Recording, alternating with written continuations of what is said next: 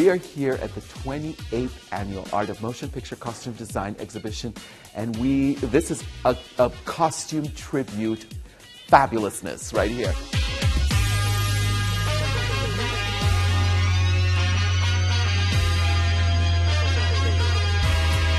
You know, a lot of people always ask, what is my favorite costume? Of course, I have to be diplomatic. My dad was a diplomat, so I'm going to continue his legacy. I love them all.